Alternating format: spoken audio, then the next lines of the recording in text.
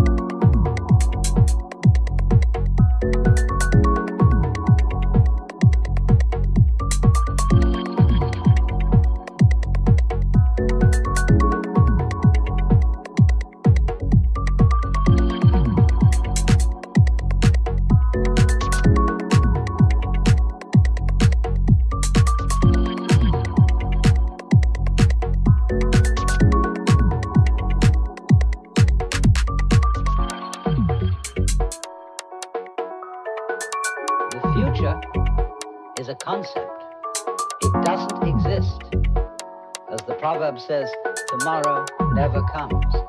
There is no such thing as tomorrow. There never will be. Because time is always now. And that's one of the things we discover when we stop talking to ourselves and stop thinking. We find there is only a present, only an eternal now.